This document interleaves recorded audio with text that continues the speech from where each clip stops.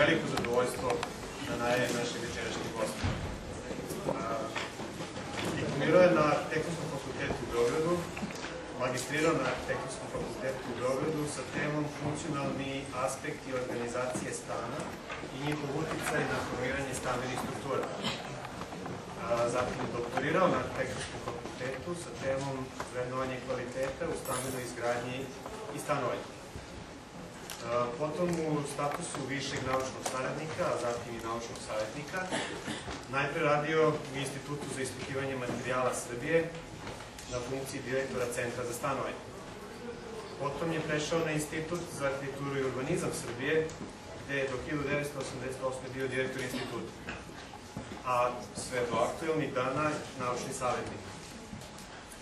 20 godina bezmalo član jugoslovenske delegacije pri Komitetu za stanovanje Ujedinjenim nacijama u Ženevi. Brojne studije, naučni radovi, konferencije, publikovanja iz oblasti stanovanja. Brojni konkursi, nagrade, prve nagrade, realizacije, izvedeni projekti iz oblasti stanovanja. Član Inženjerske akademije Srbije, velike nagrada Savjeza arhitekata Srbije za životno delo mnogi od vas koji ga sigurno poznaju nisu ni bili svesni svih ovih kvalifikacija.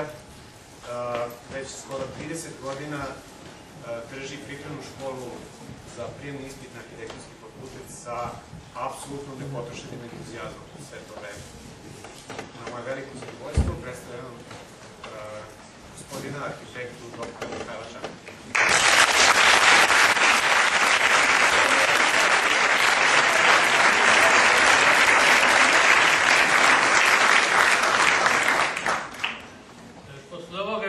kaže slava mu.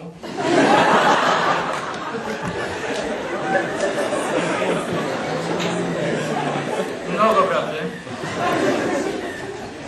Ajde mi da krenemo, da vam ispričam nešto što verovatno niste čuli, a to je priča o jednoj kući koja se paralelno sa institutom bavila problematikom stanovanja i nadam se da je doprinjela sa svoje strane razvitku onoga što nazivamo Beogradski stan. E, prvo da vam ispričam kako je bilo u doba, ali ja, ne bojte se, neću vas ušiti. U doba kad sam ja studirao, što nije apsolutno isto kao ovde, sasvim jedna druga situacija, druge psihološke strukture nas koji smo radili, sve je bilo pomalo drugačije, a pomalo je ličilo. Ne zaboravite da je negde do 50. godina bila jedna vrlo oštra situacija svuda na fakultetima, bila je, da kažemo, raznih čistki, bilo je, studentske organizacije su se dosta surovo ponašale, bilo je tuča koje kakvi, bilo je mlačenja, čak i na našem fakultetu, to sam čuo pre neki dan od nekih starijih kolega, a onda je 51. godine, tačno kad sam se ja upisao, odjednom proglašena liberalizacija studija, i odjednom se sve izmenilo kao čarobni štapiće. Nekadašnji vukovi su se pretvorili u jagence. Čak je pitanje za neke od njih da li su ikad bili vukovi. Da nisu možda bili jagenci sa protezama, nasilno naterani da se ponašaju drugačije.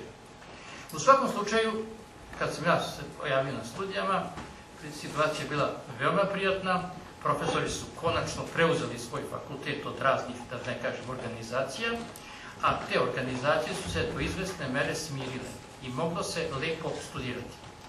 Istina, sad se sećam kad sam završio, trebalo je konkurisati za školu rezervnih oficira i dobio sam karakteristiku, malte ne da sam jedan krajnje štetan element, e, vrlo neiskren prema organizaciji, mislim organizaciji studenta, da je jedan moj drugar i kum proglašen za kulaka, zato što je moj otac bio, recimo, agronom, i da je pod mojim džavolskim uticajem, a treći je izbačen iz škole rezervnih oficira zato što mu je karakteristici pisalo da češće, malo nego što je normalno, posećuje čitavnicu, američku čitavnicu.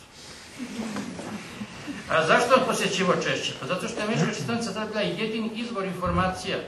Nismo uopšte mogli da se dokopamo informacija. Znam ovde neke profesore, možemo je prostiti, nećemo da pominjemo, koji su imali žilet ispod nokta i koji su tamo odlazili na učitonicu, pa su sekli žiletom iz časopisa one najznačajnije fotografije, nosili kući i tako uspevali da se informišu na taj način. E, ne bi oni to radili da nisu bili prinuđeni. Znači, ta atmosfera je s jedne strane još nosila tragove onih starih, ružnih vremena, a s druge strane već jedan novi vetar duo i dalo se sasvim lepo studirati. I u tom jednom društvu, gde je bilo izuzetno moćnih profesora, da pomenem čuvenoga Zlokovića, čuvenoga Dobrovića, u stvari svi su čuveni, čuvenoga Klisku, Leka, Deroka, bio je čovjek koji se zvao Mate Bajlon.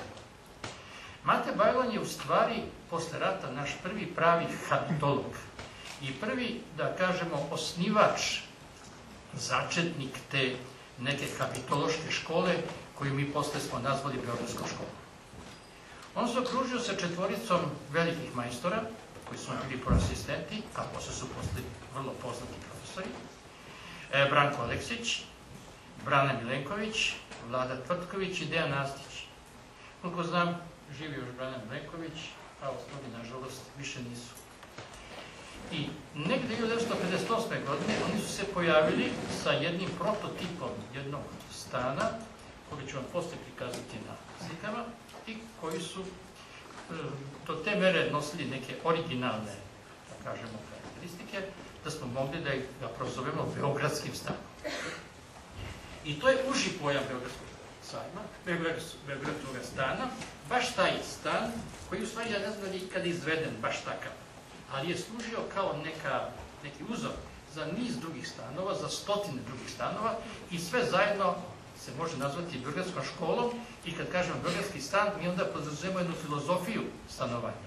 Jedan pristup veoma kompleksan stanovanju koji će na neki način da stvori jedno određeno projektovanje karakteristično za Beograd i koje ja mislim da još uvek se može reći da je aktuelno, jer ove stanove koje sada vidim praktično potiču iz tih davnih vremena.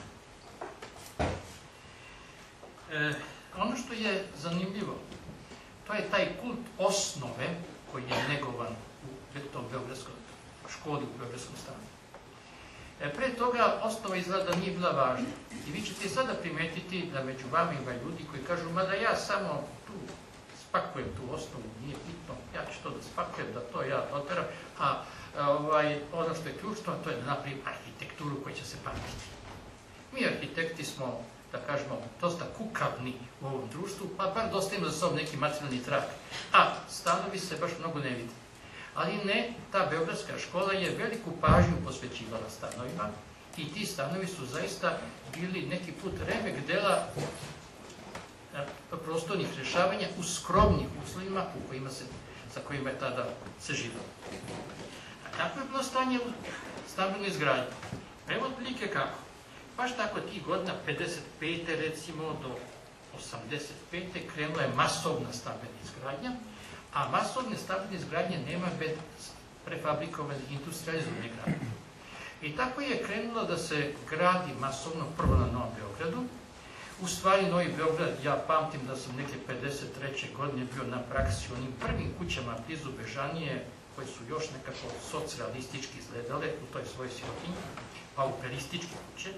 A onda je krenula, nažalost nisam bio u toj prvoj ekipi, pre mene je krenula jedna grupa, Petričić, e, e, ovaj, Milenković, drugi Milenković, e, ovaj, Milenković, još jedno trojica četvojca, koji su tamo oko ove opštine Novi Beograd napravili niz prvih kuća, montažnih kuća u sistemu IMS Žeželj.